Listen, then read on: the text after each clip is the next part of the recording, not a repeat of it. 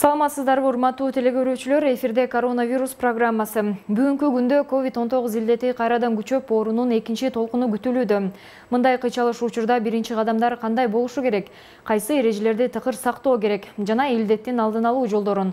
Пульмонолог адистер тобунун мүчөсү мадемилов маамет жолдошбекович айтып бермекчи. Саламатсызбы кош келипсиз биздин студияга. Айтсаңыз коронавирустун алдын алуу максатында өздүк гигиенаны сактоодон башка дагы кандай эрежелерди кармануу керек?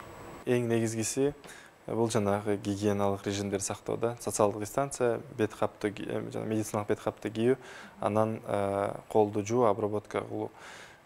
Мисалы эгерде мындай учурлар болуп калат үйдө бир үй бүлөдө бир адам ооруп калышы мүмкүн. Ошол учурда жанагы ошол ооруп аткан адамды өзүнчө бир бөлүмгө бөлүп тамак ашты өзүнчө берип идиш аягын өзүнчө бөлүп э, ошондой э, иш аракеттерди жүрүш керек. Себеби бул оору өтө мындай высококонтагиозный деп коебуз. Жугуп калышы мүмкүн да. Жугуп калышы жанагы аба аркылуу ооба жанагы эме предметтер аркылуу жугуп калышы мүмкүн. Ошол себептен жанагы идиш аякты бөлүп дааратканада болсо мүмкүн болсо өзүнчө барып ошол өзүнчө жуунуп болушунча контактты азайтыш керек да. Э, ошондой эле жолдор бар да. Анан э, кайрадан эле көчөдө жүргөндө коомдук жайларда жүргөндө э, социалдык дистанцияны сактоо кайрадан эле ошондой нерселер.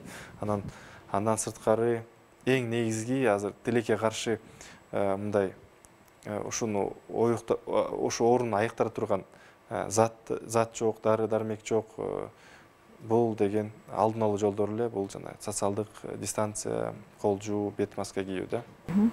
Сиз айтып атпайсызбы бет кап кийүү керек депчи? Ошол бет кап кийүү канчалык деңгээлде адамды коргой алат? Бул да туура суроо. Себеби эгерде мындай алсак ооруп аткан биринчиден э, эки адам мисалы жолугуп атат. Бирөөсү ооруп атат бирөөсү ооруган жок.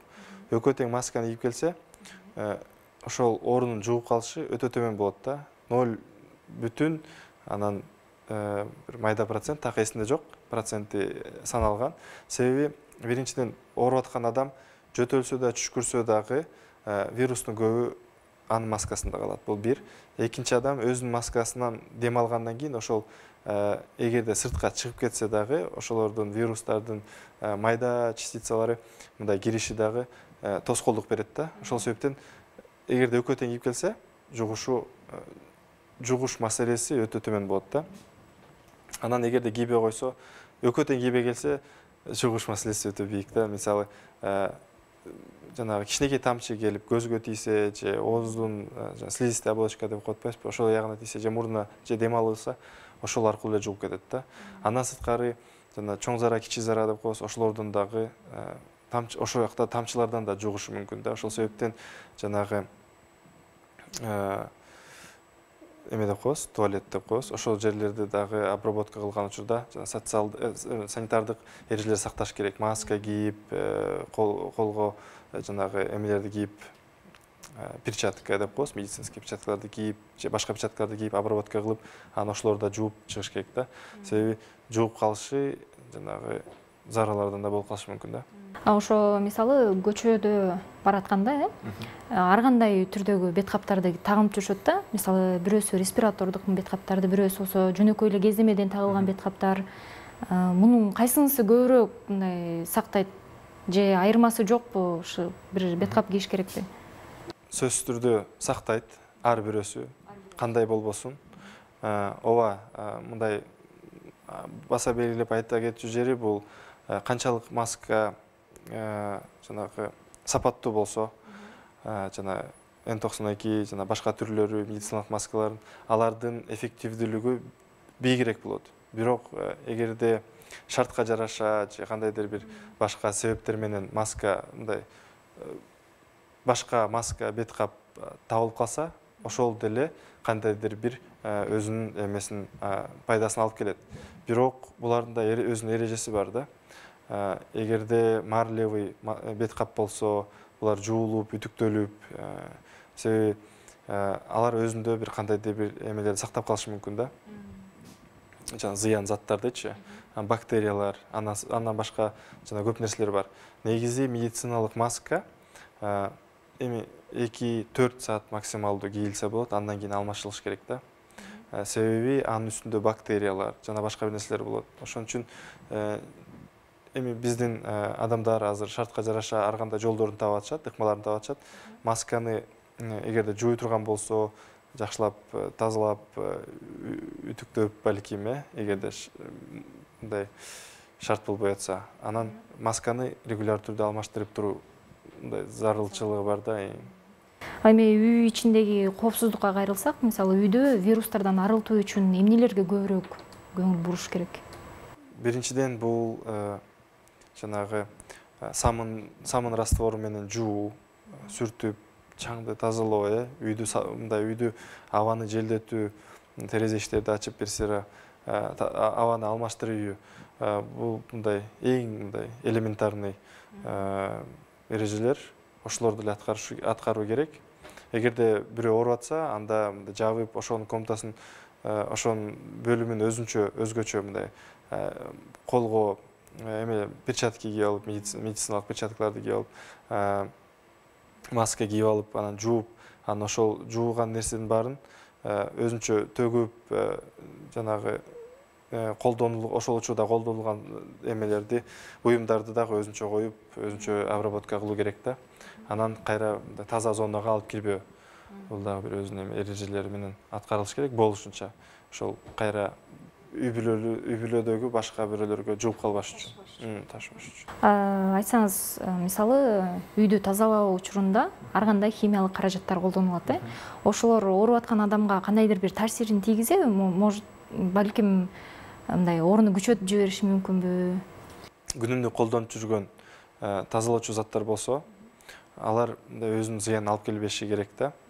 Себеби алар пайдасын алып келет да мисалы сүртүп тазалоодо өлтүрөт микробторду бактерияларды вирустарды э бул бир. Анан экинчиси кээ бир учурларда адамдарда эгерде аллергиясы бар болсо астма же жана аллергический ринит деп коебуз ошондой ошондой түрдө оорулар бар болсо ошол кишилерге бир зыян алып келиши мүмкүн. Зыян эмес эми жанагы астма оорусун күчөтүп ийиши мүмкүн да. Деми кысылып деми күйүү алып келип же мурду агып түшкүрүп мындай ошондой симптомдорго алып келиши мүмкүн. Андай учурда этият болуш керек сөзсүз түрдө башкасында мындай зыяны жок да. Өтө көп болуп кетсе да зыян болушу мүмкүн. Бирок кадимкидей самындап ошол жууган жакшы деп эсептелинет да ал эми элдик ыкма менен тазаланууну кандай карайсыз? Мисалы кээ бирөө арча арчаны түтөтсө аба кичине вирустардан арылат деп ойлошот да мисалы?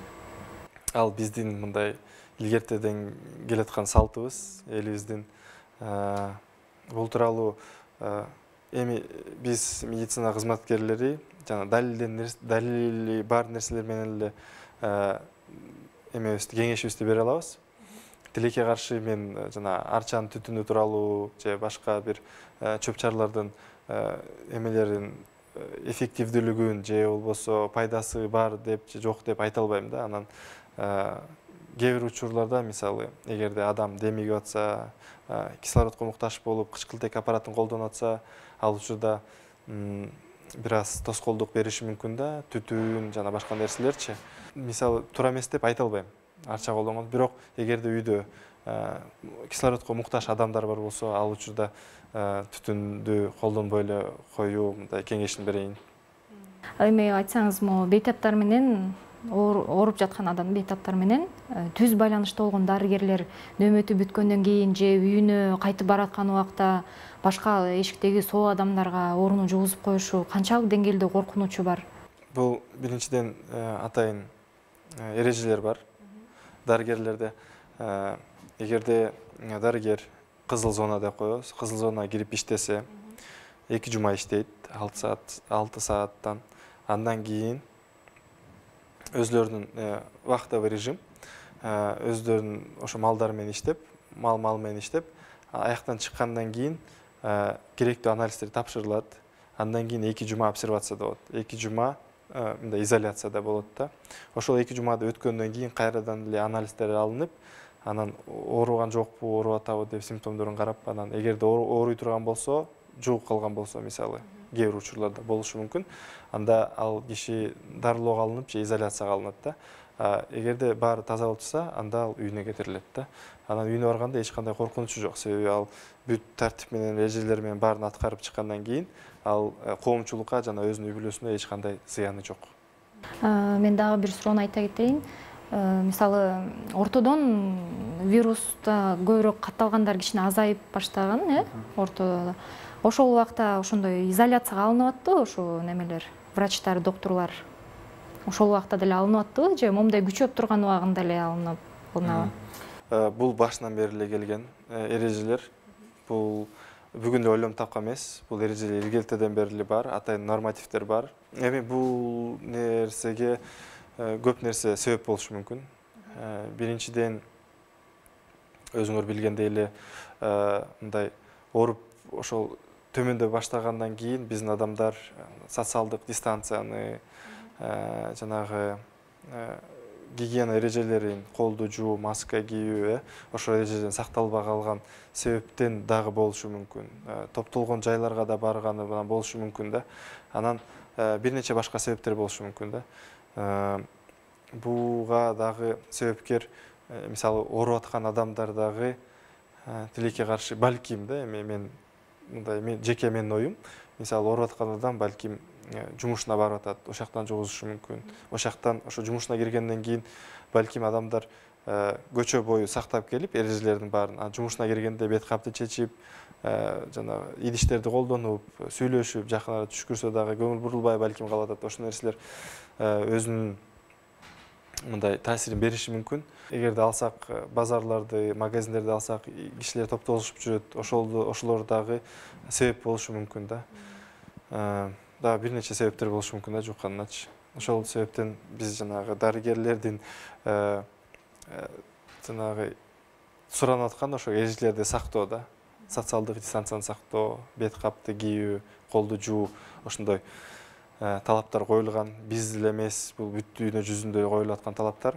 Мамлекеттен болобу жанагы бүткүл дүйнөлүк саламаттык сактоо уюмунун уюмунан тарабынан болобу ошол эрежелерди эми бул кайрадан эле өзүм атыман э, ушу биздин элге сураныч ошолорду аткаруу. Ушуну менен коронавирус программасы соңуна чыкты. Кийинки эфир аркылуу жолугушканча сак саламатта туруңуздар